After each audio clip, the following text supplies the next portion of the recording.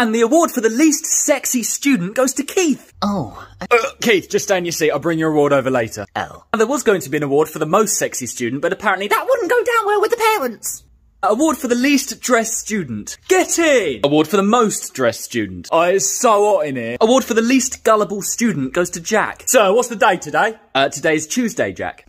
No, it's not. no, it is. Today's Tuesday. No, I don't believe you. I'm not falling for it. Uh, award for the best attendance goes to Isabel. Isabel? She's off sick, sir. And finally, the award for not winning any awards goes to Phyllis. Oh, thank you. There you go. Well done, Phyllis. And you've now just won an award, so I'll have that back, please.